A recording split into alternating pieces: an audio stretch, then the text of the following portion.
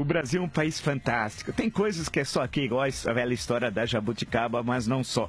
Você tem uma presidente de forma ilegal no Palácio da Alvorada, não há norma, decreto, lei, dispositivo constitucional que permite isso. Ela ficou lá e esqueceram dela lá, porque o Renan fez uma resolução. Que força de lei tem uma resolução do Senado? Eles esqueceram. Então ela vai ficando lá, o tempo passa, já ninguém lembra, só uns chatos como eu que vão lembrar que ela está de forma. Ela invadiu, ela é uma sem teto e ocupou o Palácio da Alvorada. E ela não tem o que fazer, criminosa, criminosa, quadrilheira, marginal, destruiu o país no maior escândalo de corrupção da história da humanidade e com a maior cara de pau fala que o cumprimento da Constituição é golpe. Golpe é ela, que é criminosa, marginal. E eu espero que, além de seu chefe, Lula, tem de ir para a cadeia, que é condição sine qua non para o Estado Democrático de Direito, Lula na cadeia. Depois, acompanhada da senhora Dilma. E ela tem tempo para ir no Congresso Nacional. Ah, não dá. E nós trabalhando, pagando essa senhora 25 assessores, aviões da FAB, é,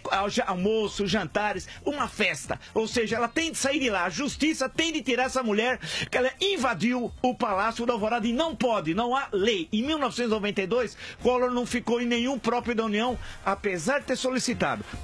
Portanto, se vale para Collor, vale para Dilma e vale para qualquer brasileiro.